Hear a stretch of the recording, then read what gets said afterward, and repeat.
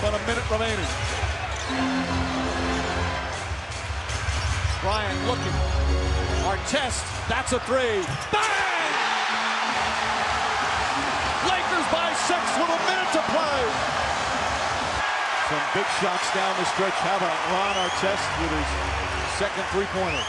And how about the trust? Bryant makes the play. Instead of trying to go for the home run, takes the double team and gets the ball to Artest, and he does the rest.